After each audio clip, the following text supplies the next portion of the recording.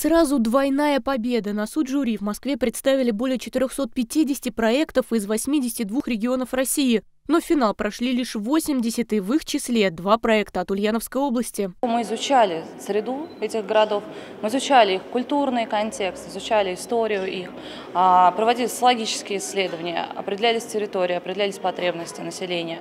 Вот. И в этих проектах мы старались максимально это все отразить. В будущем это новые бренды региона, говорят архитекторы. Сингели, например, представил на конкурс парковую зону «Тишь да гладь». Это обновленная набережная реки Волги с центром отдыха на воде. Изюминка – арт-маяк, который станет символом новой территории. Инзу же на конкурсе представили как малиновый край, и именно в виде этой ягоды будут оформлены малые архитектурные формы в парке диатомового комбината. Запланирована его полная реконструкция, установка спортивных и детских площадок, фотозоны, велодорожек. Я хочу о чем сказать, что это не просто благоустройство, что мы пришли, сделали а, красивый асфальт, там, да, положили плитку.